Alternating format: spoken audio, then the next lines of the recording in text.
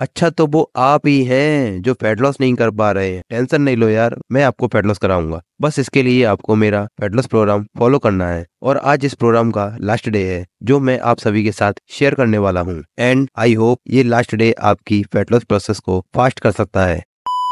सो hey guys स्वागत है आपका फेटलस प्रोग्राम के डे सेवन में और आज का हमारा टॉपिक है walking ten thousand steps a day काफ़ी लोगों को अभी भी ऐसा लगता है कि वो सिर्फ़ कार्डियो से ही फैट लॉस कर सकते हैं, और ये बात भी सही है। बट अगर कार्डियो प्लस वेट ट्रेनिंग के साथ आप एक से डेढ़ घंटा नॉर्मली वॉक करते हो तो आप अपनी फैट लॉस प्रोसेस को फास्ट कर सकते हो। Because walking is one of the simple and easy exercise जिससे आप फैट लॉस इजिली कर सकते हैं। अकॉर्डिंग टू गूगल अगर आप डेली दस हज़ार स्टेप्स वॉक करते हो तो आप 300 से 400 कैलोरीज बर्न कर सकते हो। एंड इसके साथ साथ आपको इससे और भी बहुत सारे हेल्थ बेनिफिट्स होते हैं। लाइक इससे आपका मेटाबोलिज्म बूस्ट होता है। एंड ये आपके हार्ट और ब्लड प्रेशर के लिए भी बेनिफिशियल है। कुछ रिसर्च के अकॉर्डिंग अगर आप दस हज़ार स्टेप्स इजिली वॉक कर लेते हैं और अगर आप उन दस हज़ार स्टेप्स में दो हज़ार स्टेप्स ऐड कर लेते हो तो आपकी वेस्ट मीन्स आपकी कमर भी कम हो सकती है। एंड अगर आप दस हज़ार स्टेप्स के बाद और भी ज़्यादा वॉक कर लेते हो तो आप एक एक्टिव पर्सन की कैटेगरी में आते हो।